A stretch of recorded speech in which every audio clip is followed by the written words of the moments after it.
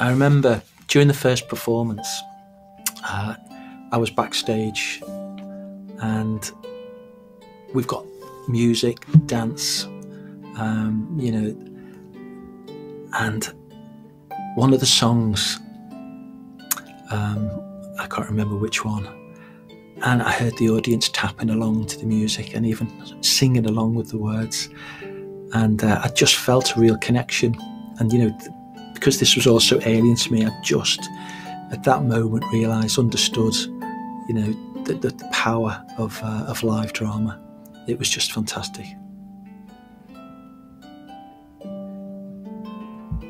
I think the whole thing, in a way, is about decisions, about when, about people find themselves, are we going to do go this way when they're called upon either to do something or not do something, and on which side of things they're going to stand, and how they're going to approach that, and how far they will throw themselves into it, and what are going to be the results. And I think all of those things were, those questions were in that moment.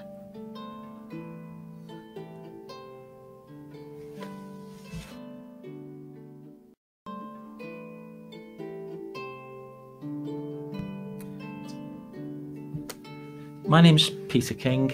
I'm from originally the outskirts of Liverpool. Probably not a genuine Scouser, as most people understand it, but from a Liverpool Irish background. Uh, my parents, grandparents all lived in the Kirkdale uh, district of Liverpool, and our background is, is certainly steeped in, in Irish roots, as so many Liverpool families are. My name's Steve Nolan.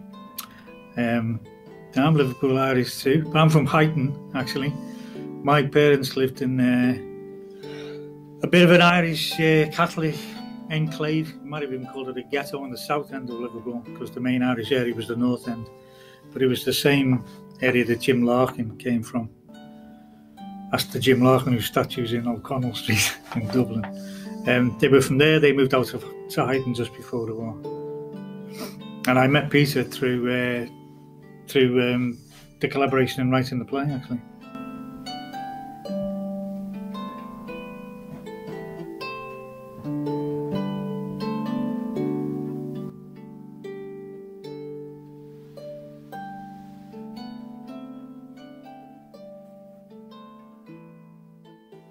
With pikes we fought against the cannon's roar with pauper and priest aligned, we faced Britannia's might. A light weakened across crimson fields of Vinegar Hill, reflected in the eyes of Erin's youthful cause. Until our newly rendered colours rose once more. Liverpool Lambs is about a little known story of how around 50 men and women, all from Liverpool, who travelled to Dublin and took part in one of the most significant events in Irish history an armed insurrection during April 1916, which became known as the Easter Rising. Although some of those who took part were from Ireland, many were Liverpool born of Irish descent. The story follows the exploits from training sessions in Liverpool to receiving orders to travel to Dublin, and finally, the events during the Rising itself. The reason I got involved in writing the play was because three of my grandfather's brothers, my great uncles, John, Patrick, and George, were members of the Liverpool contingent who took part in the Rising. They gave us but a glimpse of their gilded knives and tables laden with fruits of noble toil, and expected gratitude for their scattered crumbs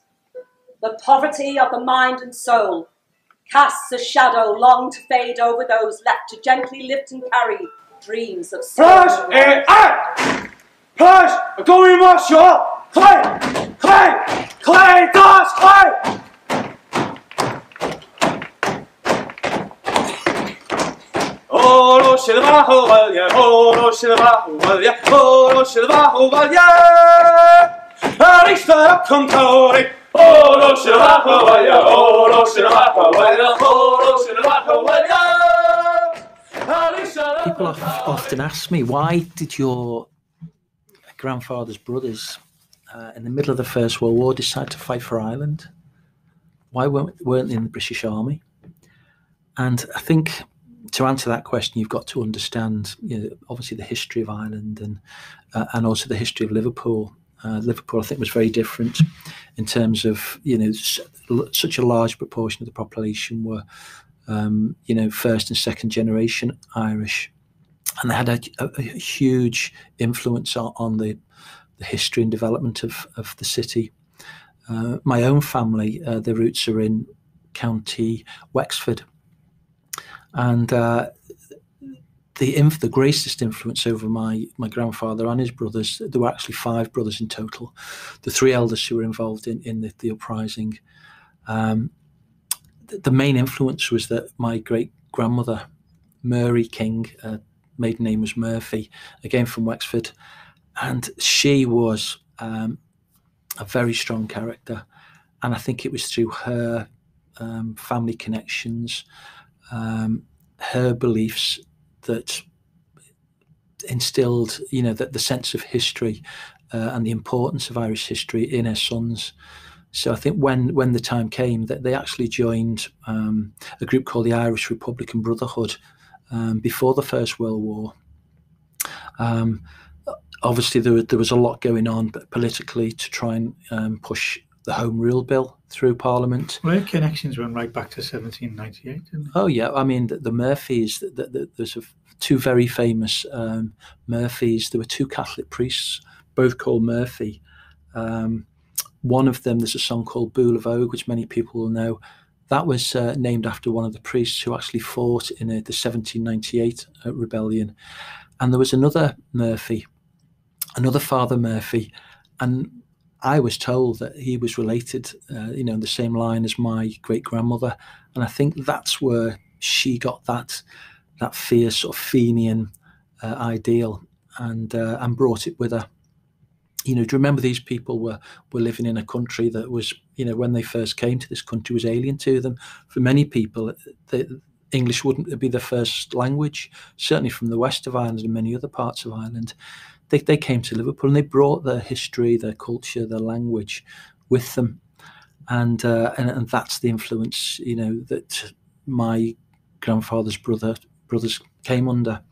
Um, I'm very envious of that actually, because my family was just left, but kicked out through the famine. Came to Liverpool, lived in the slums, worked on the docks, went away to sea, never got involved with that stuff, unfortunately. no. But my great grandfather only um, didn't speak English. Spoke Irish as a first language. He did learn to speak English once he'd got here, um, but he couldn't read and write, and he couldn't. And, he, and his first language was Irish. But uh, that lineage of yours, I'm, I'm very, I'm impressed by that, Pete, and I'm envious. and and remember, you know, many people, you know, came to this country. Um, it, wasn't their choice. You know, they were forced to due to the circumstances, um, and it must have been very difficult to them. And I think there's lots of parallels, you know, with with, with what's happening today. Um, you know, with sort of people migrating to this country now.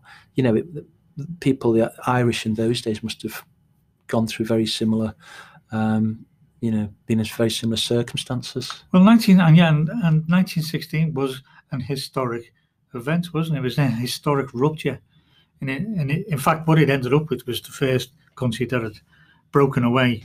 Well, apart, unless you count the the American colonies, um, from the British Empire, defied the British Empire, and uh, gained independent independence from it. Um, but your family were involved in all those things. It was eight eight hundred years of being occupied by uh, Britain and incorporated into it, and then rebellions repeatedly over over that time. Terrible events like um, the famine, or more accurately, some people would say a genocide.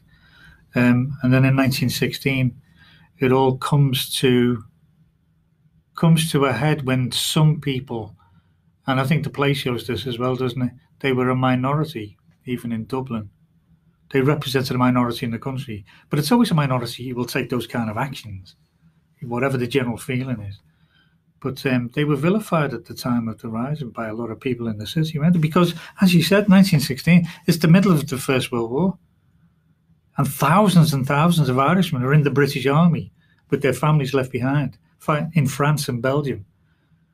And um, and then then there's this rebellion. A lot of people, in fact, we put this into play, didn't we? Um, it is recorded that a lot of the women whose husbands were away, who collected their army money from the post office, were outraged when the post office was occupied and life stopped for, for, for a while in the city. And we're hurling abuse at the people who did it because it all changed within a couple of weeks when the leaders of the rising then were um, summarily executed. And I think that changed everything. That's right. And following the rising, um, all of the Liverpool contingent actually survived, and uh, my granddad's brothers um, all spent the rest of their lives in in Ireland. My grandfather Thomas King was the only um, one of the five brothers. Um, the fourth brother, uh, Edward, or he was known as Ned, he followed the, the, the three eldest over and fought in the War of Independence or took part in the War of Independence. But my grandfather Tom was was the only one who actually stayed in Liverpool, which is why there's a branch of Kings in in Liverpool and and uh, still you know many relatives back over in Ireland. The rising in of course, didn't achieve independence on its own.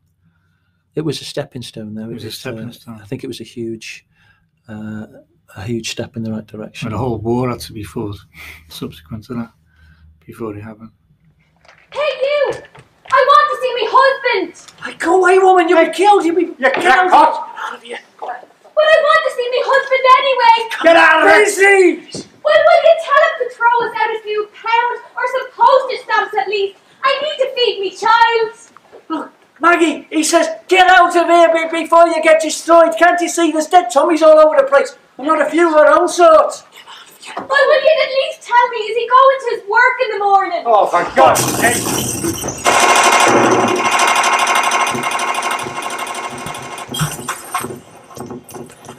I first met Steve back in 2014. 15. 2014. Was it? It was October the 7th. The reason I know that was because it's my wife's birthday. Oh, right. And I was invited to the inaugural meeting of what was called the Liverpool Easter 1916 Commemoration Committee.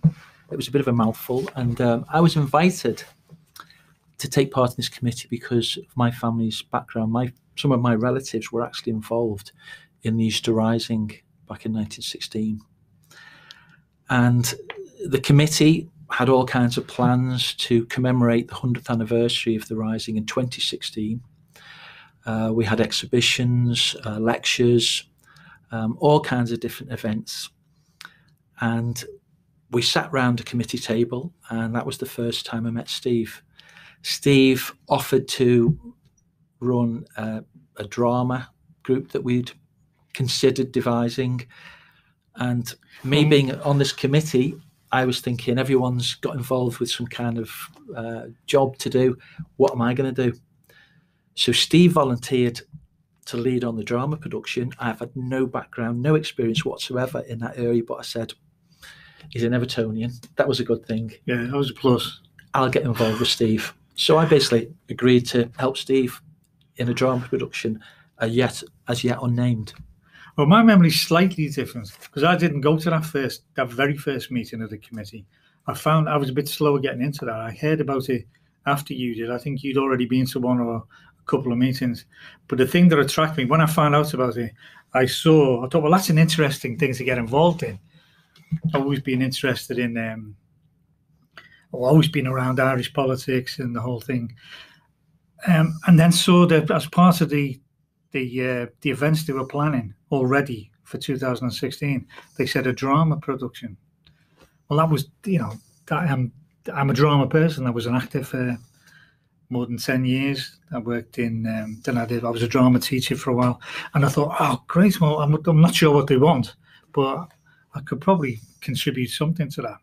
And then I went to a meeting and there was Pete sitting there. And then it, it became obvious during that meeting that Pete was related to people who'd taken part in the Easter Rising in 1916. And he'd already had a go at writing something that would be a scene of a play that um, told the story of his uncles and the participation of people in Liverpool in the Rising. So that kind of was the thing that started it. But neither of us were really given the job straight away of coming up with a play. It was kind of there. He'd had some ideas, and I said, "Well, I might be able to help with it." And that's kind of as far as it went at that time. Because the initial talk was all about, well, we don't know how much funding we're going to get, and if it's a load of money, we'll get a professional writer in, and we'll get professional actors, and we'll do this, that, and the other. So it was all aiming high at the beginning. It was a while before we realised, well, if the drama part's going to happen, it will be me and him doing it. And then when we realised that there was very little funding, uh, we did apply for a lottery grant, if I remember. Um, we did get some funding, but it was quite limited. And we realised that, as Steve said, we'd have to do most of the work ourselves. Um, I'd written a history of my family about 20 years ago. Uh, the reason I wrote it was because when I was young, we come because I came from a large family. Family get-togethers always involved a game of cards, a few drinks, and my grandparents telling us stories. And all I can remember were those stories about his brothers fighting during the First World War, but not for the British Army. They were fighting against them, and I couldn't work this out when I was a kid. They were actually fighting for Ireland. And I'd kept those stories with me for years. So about 20 years ago, I got the chance to write it all down. And then it was an academic kind of essay type task, but I had the story in my head. So when the commemorations came along, it just seemed natural to get involved. And when I started writing, Steve said, Why don't you write a few words? I put a scene together and it flowed. All these stories that came out from when I was a kid just flowed. It's something, it was brand new to me. I'd probably not done any creative writing since I was at school. And it stemmed from there. Yeah, the um, the, whole 2016, the the hundred year anniversary, the centenary of the of the rising, it was um, we didn't get a whole mountain of money, but it was something that was promoted by the Irish government for the Irish diaspora in England, Scotland, and in other countries. So there were funds available from them, and I think in the end that was where most of the money that we did get came from. We were supported by the Irish government or the British government via the Arts Council. weren't, weren't really interested. Well, they offered us nothing basically, but it was supported from the from uh, from from Ireland, and um, that was enough. To, there were enough we knew to, to get us started on on the thing. And Peter's family story obviously was fascinating. I'd never come across anyone whose family had been involved in the rise, and I was well, I was well excited by it. I thought there's some real possibilities here. So, the first time um, we got together, we got some uh, a group, a local group together from the sort of amateur dramatic scene. Obviously, like Steve. Oh well, can I say before that we did eventually, but of course, as it, as the ambitions went from well, get it all professionally done, it'll be loads of money and everything, as those um, as those levels of expectation necessarily came down. We did initially, because I went around personally, we went around local drama con. We went to LIPA, we, we put adverts out. We did, let's try to see if we can get some students, actors in. Let's just treat, we'll draw people in from anywhere if they're interested. Let's get the best talent we can. And we drew a blank in most of those places. Uh, and so we did eventually, and I think it was better in the end. We gathered people in from the local, the local Liverpool Irish community. That was we formed the, the, core of the thing in the end. Uh, like we were, well, we were we were the people creating it, and the people who acted in it were the same. Um, so actually worked out really well for that. But we, yeah, we, we we couldn't, we didn't get the people we envisaged first. But it wasn't total amateurs we were coming up against, uh, uh, drawing in. Um, you know, there's a thriving um, theatre scene in Liverpool, and those people are they might not be professional actors, but they're very experienced. Some of those, some people who'd never acted before. Well, Peter's daughter, he'll tell you about that. She was in it. She was brilliant, and she hadn't actually been been on the stage before. Um, so it was a combination of all these different people and different talents coming together. And we'd had a brief right at the beginning. The brief we were given from it, because somebody had thought about it before we even got involved, said, "Well, we want to tell the story, um, and we want to involve all the um, all the cultural things that are available locally and through the Irish Centre. So Irish music, Irish musicians, dancers. And I was thinking, oh, God, they don't want some, they don't want a mute, they don't want seven brides for seven Irish brothers, do they? We want a, a musical here because that, that, I wouldn't be interested in putting that on. But that again, that was um, that was a challenge, and also how do we create something really good, truthful, artistic, and include those elements in a way that that that, that makes them meaningful as well. I do remember the first session though when we got the, the, the group of actors together and we did a read through of the first scene. And I actually read my grandfather. My grandfather was the youngest of five brothers. Um, and he wasn't involved, he was too young in 1916. But he, we did include him in the play, and I wrote, uh, I spoke the words of my grandfather during the first session with all these, some very experienced actors and uh, to say I was apprehensive was an understatement. And we read through it, and uh, the reaction was fantastic. They said it sounded natural, positive. It was, it was for me, you know, who'd not done anything like this before. It was incredible uh, to get that feedback. Yeah.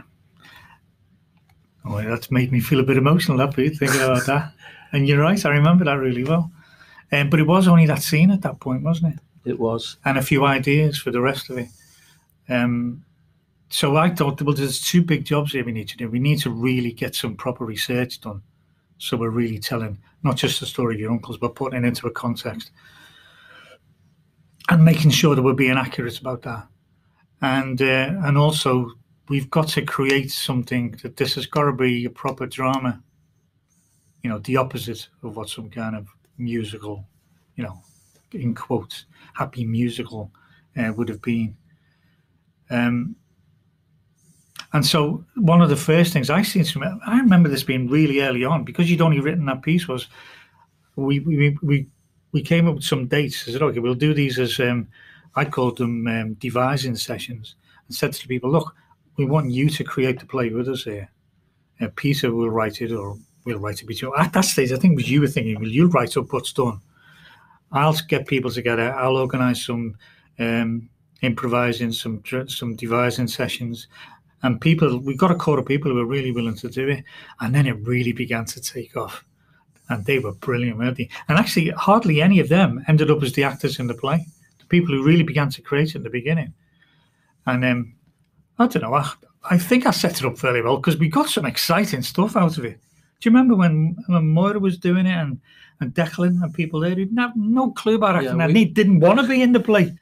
But you give them some scenes to act out like your your um, your grandfather and those people uh, in Liverpool, and then and they just they just ran with it. And of course, when we done those sessions, Peter was able to go and say, "Okay, well, I'll write I'll write a scene from what we just created." Yeah.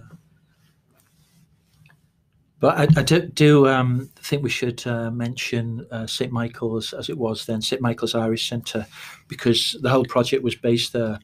Uh, it's now just called uh, simply the Liverpool Irish Centre, but they gave us great support. Uh, we all the rehearsals, all the preparation was done there, and I think without without the um, the Irish Centre and the local Irish community, uh, you know, we would have really struggled. Oh, they provided the the amenities. We didn't pay for that. That's right. Something, yeah.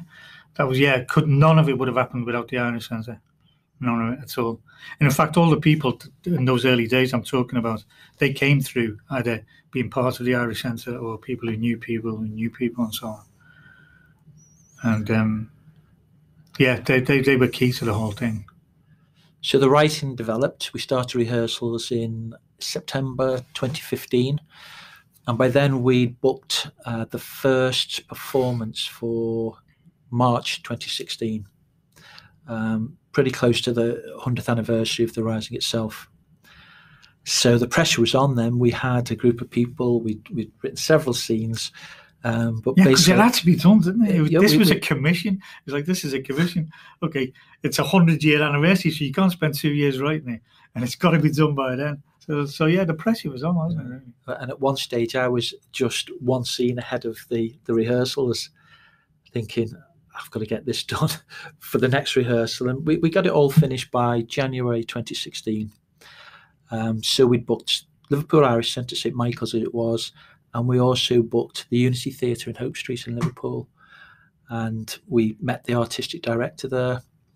Uh, basically, we booked booked the theatre for a night, and we sold out. Um, we could have filled it twice over. Um, obviously, we didn't know how the reaction would be, you know, how it would be received. Um, but it was a tremendous occasion, particularly that the opening night in March.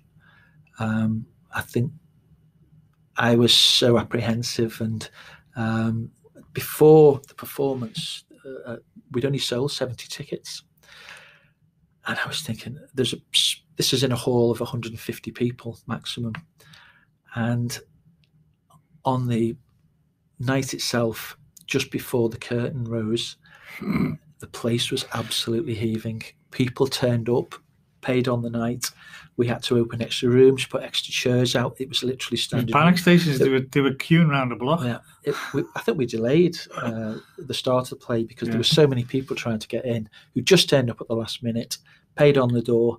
In fact, my wife Finola, who turned up to watch, uh, ended up selling tickets on the door putting seats out, the extra seats out, and the atmosphere. I remember it was a warm night as well. The atmosphere was incredible. And I was backstage doing stage management, setting props, and uh, the tension, the, the, the atmosphere was fantastic. Yeah, that, that might sound a bit like, well, we started off, we wrote the play, we put it on, it was a big success. It was a, it was a long, rocky road between starting it and putting it on. I think that's fair to say. I think you're. I, I haven't counted how many rewrites there was. I mean, personally, by at one stage, we'd done those initial uh, uh, improvisations and, and, and, devising. Really, it was in a way. But um, then Peter had written some. Then he then he went away and just wrote some, and we came back and tried that. Um, but it, it kept having to be redone. And I'll tell you what happened in the end because originally, I was I'm thinking, well, I'll have to direct it, and said, yeah, the whole thing. You're going to write it, we'll get actors to do it. But then it, it got to a stage where we were the consistent figures through the whole thing. We eventually got a consistent cast together, but it wasn't until around Christmas, I don't think. I yeah, think we've been going a couple of months. I think it was in January. I think Steve might have even been in January. Yeah. So Peter and I would, would go to his house. It was usually your house, wasn't it? and we'd do the improvising and devising between us because he'd say, "Well, I can't see how I can't see how this scene's going to work where uh, they're gonna we've got we've got to we've got to somehow deal with the volunteers um, get into the the occupy the GPO in Dublin. That's the central event. That's where the things happen in the centre of the play. How are we going to do it? And I was saying to him, and he's going, "Oh, I can't envisage it because you because as you said, you didn't have that much experience with creating." theatre or drama at that time. And I'm saying, look, I can't tell you. We'll just have to do it. Look, Pete, we were moving stuff around in his front room, and I said, "You've got to improvise this with me, and I'll show you how it's going to work." and it, it was a wondrous process because actually I really enjoyed them sessions. It worked. It's treat, yeah. didn't it? I mean, I, I, eventually I didn't understand at first that you didn't need lavish sets and props all over the place. Yeah. And the main uh, props were, were simple stage blocks. I think we used about eight stage blocks, and the actors moved them around between scenes, and uh, it just worked. And this is the stuff that that Steve uh, explained and, and, and taught me um, that you know they let the audience use their imagination. You don't have to have you know, t- you know detailed props and and uh, you know items on stage. That, you know let the let the imagine uh, the audience imagine those things. Um, eventually, you know, I, it, the penny dropped with me, uh, and it did. I said it's, it just worked. It's, it worked so well. I mean, we did use some props. I actually made some of the props myself. Um, we, we had some replica Lee Enfield rifles. Um, we had uh, there's a scene where the the uh, volunteers made uh, bombs out of uh, old cans, old uh, cans. condensed milk cans, stuff like that. Um, so I, you know, I, I, got I got these things together. You know, I really enjoyed that to be honest, um, and that was that was part of my contribution. Um, yeah, don't get all shucks about that because he made some brilliant stuff for it. Actually, oh and yeah, we, and we wouldn't have got it any other way. I don't think because we couldn't afford, we wouldn't have been able to afford to pay anyone to make them. He made some brilliant stuff, but I was always going to kind of say to him, it doesn't have to be that detailed. That does. That's an important thing. That that's an important. It's not just don't think of them as props. These have to be things that are advanced, a part, are central to the action, to what's going on in the play. Because um, I hate all that set dressing and things that you see some productions do. Um, you know, and you say, what's all that? What's that all there for? Ours was minimal. This was minimal, but it had really key things, and Peter was brilliant at producing them as well. Yeah, another thing I think that was that was authentic about the play was that um, obviously we created the, the dialogue, um, but all the events in the play were based on actual events, and some of the dialogue were words that were actually spoken at the time, and that Yeah, was that. down to the research. I mean, Steve did quite a lot, and I think we should mention Kevin McNamara, uh, Dr. Kevin McNamara, who uh, helped Steve in particular with the research. He he actually chaired the uh, the commemoration committee. Uh, sadly, he's no longer with us, but you know he was a central figure in. Former He- Labour MP. He was former Labour MP, Shadow for Secretary for Northern Ireland. Secretary of State for Northern Ireland. He was shadow for, um, for many years, and I think he also had, um, you know, with his backing behind us, I think it lent some weight to what we were doing. And, and actually, on the opening night of the play, he actually addressed the audience and, and talked about the background, you know, the political uh, background, and put it into perspective for the audience. Um, but we did as much as possible, um, you know, use all the events were, were as they happened.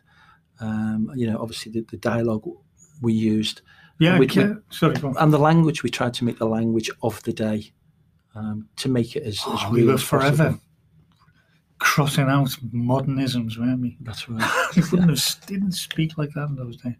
But Kevin was also a historian, wasn't he? That was his that was his academic expertise. He was a historian, and I spent a whole day with him in, to his house in Formby. He lived in Formby, and uh, I went round there, and he just spent the whole day going through all this stuff, and, and he and he actually came up with lots of real incidents that happened, which we made part of the action of the play as well.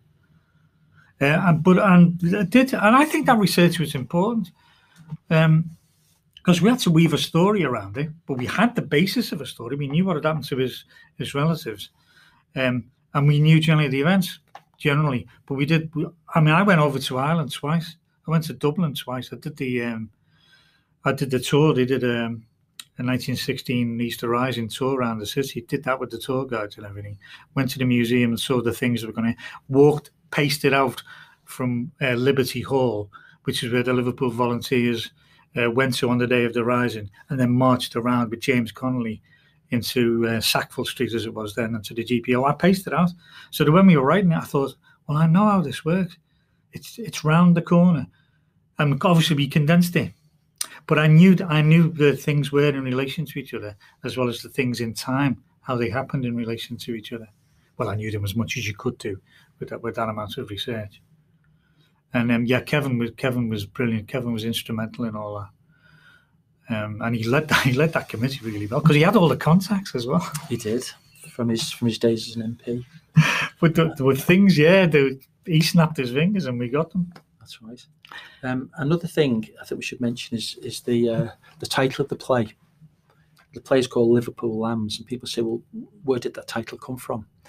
Um, the title It's not what you wanted to call it. it? No, it was actually it was a very democratic decision. It wasn't my first choice, um, but the, the title came from um, it was a quote from um, one of the leaders in the rising was Joseph Plunkett.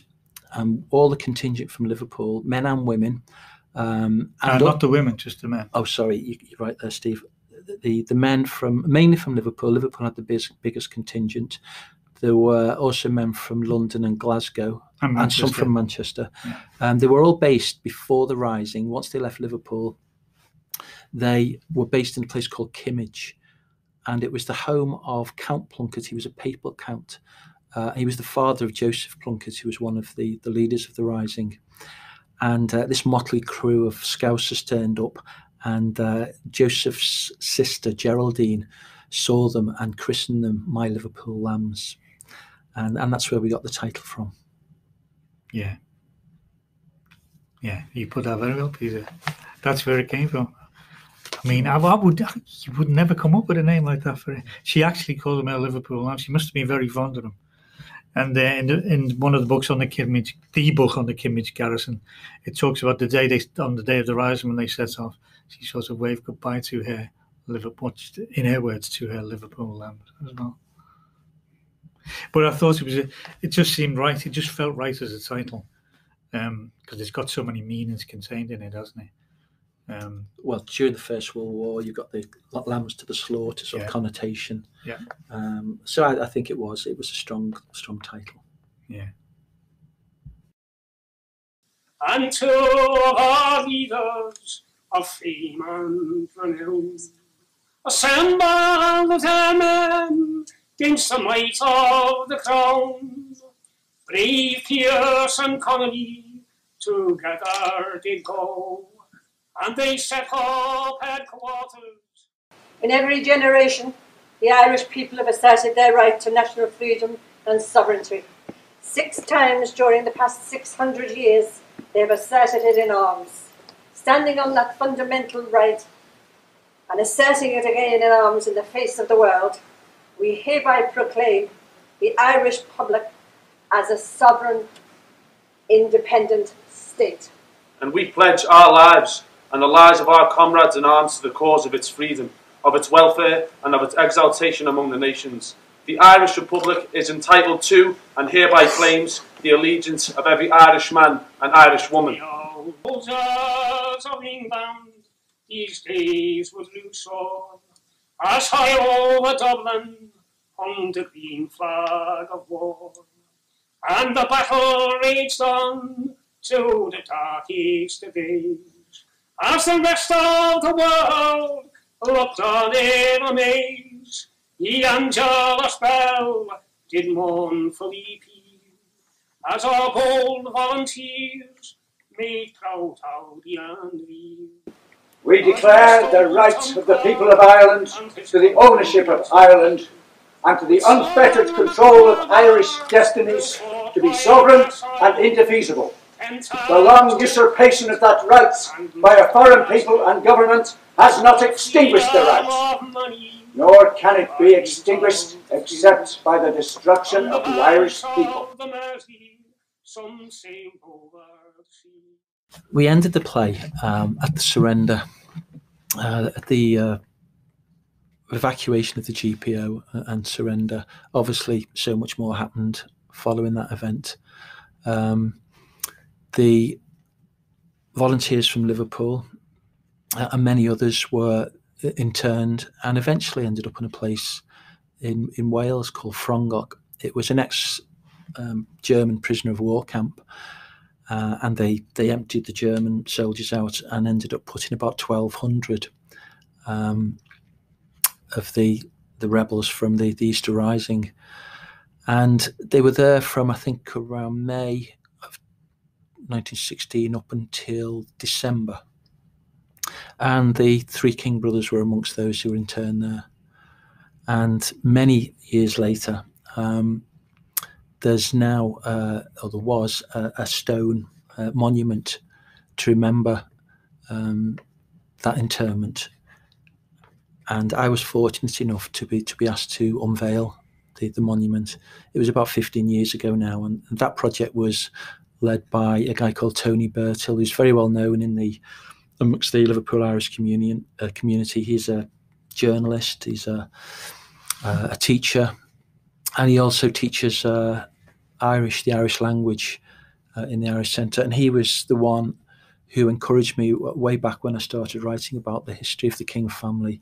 It was his course uh, that I followed in, in Irish studies that uh, that triggered me, that that started the whole process uh, of learning stuff that uh, you know, even going back to the days when I was a kid, I just didn't realise the extent to which they were involved and how, how they were wrapped up in the uh, the history of Ireland. Just because you're an ancestor was a famous fighting priest doesn't mean our son should be doing the same thing. Shouldn't they be joining the British Army like everybody else? They'd be safer in France than in this bloody kitchen if they did. If I ever saw one of my sons wearing a British uniform, I've had enough of this, son. Maybe in Holy City. You're saying you wouldn't support your own sons. Support them! Jesus, I wouldn't even feed them if they wore the khaki. Press, eh, aye! Pass! Kom in mars, ja! Kai! Clay! Kai, Kai, Kai! Sarni! Pass! Amit Tavskic! Well, and we'd always hoped. Um, it was a big success. It was more successful than we thought it would be. We were very pleased with what we'd done, and we always hoped that um, there would be a possibility that wouldn't be the end of it. There would be an afterlife for it. Um, but you know, it had there was certain there were a lot of special conditions that brought it together. Uh, the first hint that it might go on was uh, when Emma Smith from the Liverpool Irish Festival, who came to see it originally, mentioned um, that she might have some connections that might help us to get the play published. And of course, that would be for a way, a way for it to go on. It would then be available for anyone who heard of it or who read it to take it up. Um, and we tried a few things also. We thought we, we, we went to um, Ireland at one point because there were people in Wexford who were still are interested. But it didn't really start to get moving again until uh, Peter went to see a play about um, a Liverpool character called Kitty Wilkinson, Kitty Wilkinson, done by um, local theatre company called Falling Doors. So I met uh, Emma Smith in 2018, actually, at a production called Kitty um, about Kitty Wilkinson. Um, it's a play by Carol McGinn, and it was put on at the Medical Institution um, as part of the Liverpool Irish Festival. And we talked about the future for the Liverpool Lambs and the, the attempt to try and, and, get it published.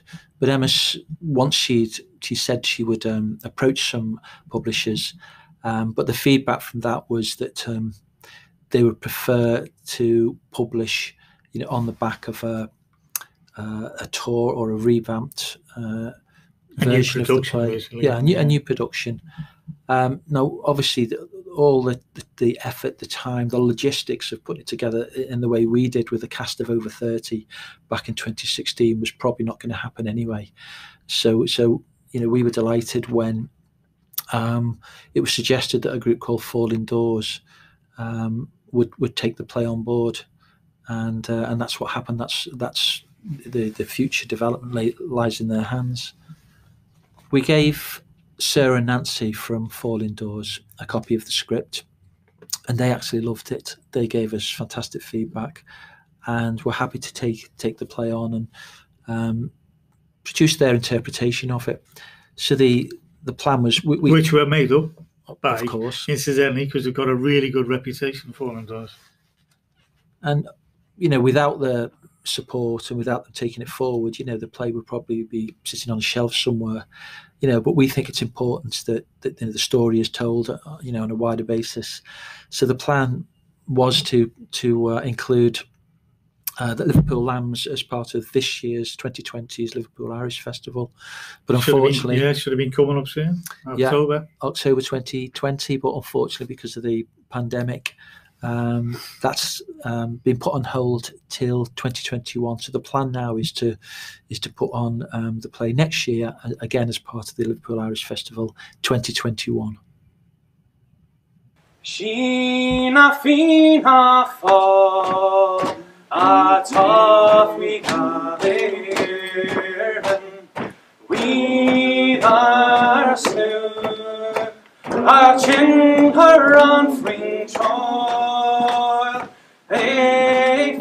hair snare so Steve and I uh, got a huge, uh, I think, emotional attachment, and certainly in my family are literally steeped in the history of of, of the the play and the, the events around which it's based, and it's to give hand the play over to you know a group like Falling Doors. Um, we are a little bit uh, not uncertain, but you know we'd like we'd like to see what they can do with it. And I know that um, they're, they're, I think they're inspired, hopefully inspired by uh, the script they've read. And uh, I think we've got to put our trust in in their interpretation. They they will look at it from a different viewpoint, um, and it'd be interesting for us to find out, um, you know, how they adapt it, and, and hopefully Yeah. it will be a, a, a- a huge success. Yeah, but it's a piece of art, isn't it? I think we have created a piece of art, and once you've created a piece of art, it's out there for other people, isn't it? We didn't write it just for ourselves in the first place, and you know, you give birth to the baby. If it's if you know if it's going to go any further, the baby unless you do it yourself again, and I think that would be a big task. Um, yeah, you hand it over to somebody else to do. I mean, Shakespeare can't say whether people should do his play or not. Imagine if he saw some of the productions of it, he'd probably be appalled. But uh, I have no fears with Falling Doors at this point because uh, we've met them, we've got to know them a little bit, and um, I'm sure it's in really good hands. And um, yeah, we've got huge investments in it, and they've they've said to us, well, yeah, you know, um, we you know we might we, we might invite you in on rehearsals or when we're making certain decisions and so on, and that's a lovely offer, and I'm I'm I'm ready to take it up. But I, I would hope that would be minimal. You know, it's not we're not it's not the play of 2016 we're doing, or the production of 2016. It's the new production. But I think the play stands up, and I think if anyone was to ruin it, I don't think they will. But I think if anyone was to ruin it, they'd have to work hard on it. Again, from a personal point of view, uh, I'm just happy that um, the memory, you know, of, of not just my family, but you know, all those people from over 100 years ago, their, their memory will be, be carried on. You know, they, they were the heroes. Um, I think it was a very brave thing that they did. And, uh, you know, we're more than happy for um, Falling Doors to take take it forward. Glen one eastern to a city paradise. There armored lines of marching men in squadrons passed me by. No fight did on, no battle won, sits on his dread tattoo. But the angelus bell of the lit feast rang out to the froggy June. Proudly There's so many people who gave up the time. Um, some people we just press ganged. There was a member in the second performance, the second set of performances. Um, one of the parents turned up to drop a daughter off, and he ended up playing Thornton's role. There's a character called Thornton in the play. Do you Oh, remember? yeah, He- I said to him, "Do you want to be in it?" he just he just literally turned up to drop his daughter off. He said, and he'd never been on a stage before. He'd never done any acting, and he ended up on the second in in the October of 2016 when we did the um, as part of the Liverpool Irish Festival. We um, we put two performances on again back at St Michael's. And uh, you know, some some people were committed to other things, so we we, we changed quite a few of the the the, uh, the cast for the second set of performances. So we put another call out, you know, with the, the guy who turned up to drop his daughter off. We press gang people into it, but everyone did it willingly. Nobody got paid. Everybody gave up their time freely. We haven't mentioned Don And the guy who did the uh, because we realised we're gonna have to. We need some sounds and stuff here, or, or it's gonna. This, I suppose you could have done it without. In fact, we didn't have some of the things tonight. Some of the lights failed and things, but um, So we need a stage manager. We need someone who knows what they're doing with this stuff. And um, I'm some, oh yeah, somebody let us down. We won't go into that. But at the last minute, I met Forstick. See, I knew I really good. He's probably my best mate. He lives in Wolverhampton. Yeah, I knew him through from our theatre days. Uh, he's a lecturer now in Wolverhampton University. But he said, "Yeah, I'll come down and do it." And he just he sorted everything with the lights, the sound. Me and him spent a, a day, and we made all the sound effects that, that were um, all the gunfire and all the rest of it everything slides. We did a slideshow for the beginning, but he did it for nothing. He did it just because he was mate and he loved doing it. And he hadn't been a stage manager for a long time. He said, "Oh yeah, I'll come and do it." And he and he couldn't be there at the Unity, which threw us into into a flap. Because when you're on, like you said, if people are being paid on a contract, you know when they're going to be there. and he, he he said, "Oh no, I can't do that." He was doing something else, so you know we got around that one. But he contributed so much, didn't he, Tom? Oh, he and He was incredible. And he was brilliant because when I was having trouble because we'd worked with them so long by that point, keeping the cats in line, heading the cat. he said, it's all right. Because when we were doing dress rehearsals and the last couple of said, I'll just do my stage manager bit, which is what I'm supposed to do. I'll take over. And he was going, get there, do this, do that. I was all, go for that. Because by that time I was in it as well. But trying to direct it, get it on and off stage at the same time. He was able to do all the all the stage, all the um, yeah, everything else, as well as all the. He was the crew and the stage manager at the same time. Brilliant. I also drafted uh, my daughter in, Sorsha, who's um, she'd done a little bit of drama in school, but had never really been on a stage. And she turned up every week uh, for rehearsals, never complained. Uh, she was absolutely fantastic on the night. So, I mean, I'm just so grateful, um, you know, to her and everybody else who took part. Sheena fina fa a tough we we are soon a chin her on fring choil a five hairs there. Shant near ocean shin a faster ni ha for fringera on control. A knock a hail started on a quail. Lay a leg hill come mars to say. Lay um body straight. Ni lock up not me there. Shanty bunny her on the V.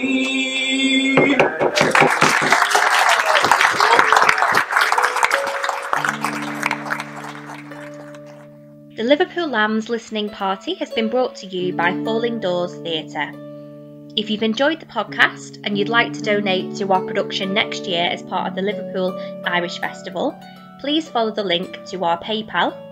Any donations will be gratefully received and will go towards the production costs to bring this show to new audiences. We'd like to thank everyone involved in the making of this podcast, including the Liverpool Irish Festival and the original cast and crew of Liverpool Lambs